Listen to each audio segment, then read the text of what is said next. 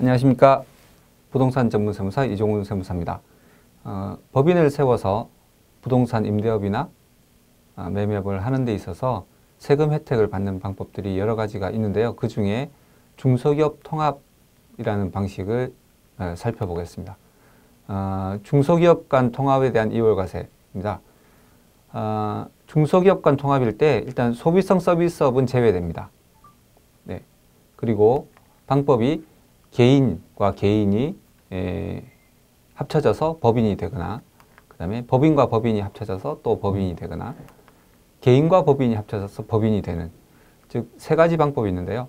어, 결론은 법인이 되, 남아야 된다는 것입니다. 맨 마지막에 법인이 남는 조건입니다. 근데 이 여러 가지 방법 중에 어떤 방법을 써야 되느냐 개인과 개인과 통합하는 경우도 여러 가지 방법이 있을 수 있고 어, 법인과 법인도 여러 가지 방법이 있을 수 있는데 그 통합의 구체적인 방법은 정해진 바가 없습니다. 그래서 합병, 사업양수도 현물출자, 뭐 가능한 방법은 다 아, 허용이 됩니다. 그리고 어, 주의하셔야 될 것은 설립 이후에 1년이 경과되지 않은 법인이 에, 출자한 아, 법인이 출자자인 개인의 사업을 승계하는 것은 통합이 아닙니다. 그러니까 그 점만 주의하시면 될 것 같고요. 통합의 종류와 방법을 조금 더 구체적으로 살펴보면요. 개인기업과 개인기업 간의 중소기업 통합인 경우입니다. 어, 그렇다 하더라도 최종적으로 남는 것은 법인이어야 한다고 말씀드렸잖아요. 그래서 법인을 먼저 설립하고 개인 중소기업을 어, 두 개를 양도 양수하는 방법이 있을 수 있고요. 그 다음에 개인 중소기업을 하나를 현물 출자하면서 법인 신설하고 또 하나를 어, 법, 개, 개인을 법인이 어, 인수하는 경우 그렇게도 가능하고요. 법인 중소기업 간의 통합은 뭐 남는 게 법인이어야 되기 때문에 뭐 쉽습니다. 그래서 신설 합병이나 존속 합병 이런 합병의 일환이라고 보시면 되겠죠. 그리고 개인 중소기업과 법인 중소기업 간의 통합이 있습니다. 어, 사실은 이 개인 중소기업과 법인 중소기업의 통합이 어, 이 중소기업 간 통합의 핵심인데요.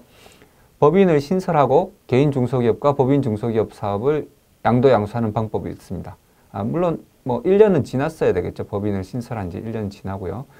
그 다음에 개인 중소기업과 법인 중소기업 간 현물 출자에 의한 법인 설립, 그 다음에 개인 중소기업이 법인 중소기업에 흑수 통합되는 경우, 어, 그 다음에 어, 이런 경우는 개인 중소기업을 법인 중소기업에 현물 출자하는 형식일 수도 있습니다. 그래서 통합의 방법과 종류는 어, 정해진 바가 없다. 어, 여러 가지 방법으로 할수 있다. 이게 중요한 포인트가 되는 것 같고요.